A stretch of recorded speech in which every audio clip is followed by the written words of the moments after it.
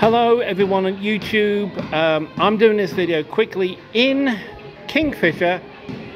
Um, there is no riot happening here in Kingfisher as uh, look, the shops are open. There are people walking around. There is no riot happening. Uh, please ignore anything about that. There was no riot, no nothing. The closest to a riot I saw was this little boy crying because he had to leave McDonald's. So, take it from me, there are no riots. Please, whoever is putting up this rubbish and crap, stop. You're not helping.